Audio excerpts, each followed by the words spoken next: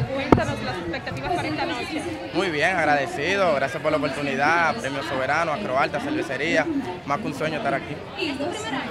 Sí, mi primera vez, mi primera vez. Muy bien, excelente, tú sabes que esto es como un sueño, nosotros lo veíamos por TV y gracias a Dios hoy en día estamos aquí. ¿Tienes participación? Sí, tengo una nominación en Revelación del Año y aparte una participación muy especial.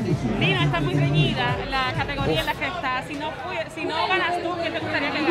Yo. no, cualquiera de los exponentes que están ahí se lo merecen, ¿me entiendes? Yo creo que hemos hecho un buen trabajo, un bonito trabajo y que gane el mejor. Bueno, pues felicidades. Gracias, mi amor, bendiciones.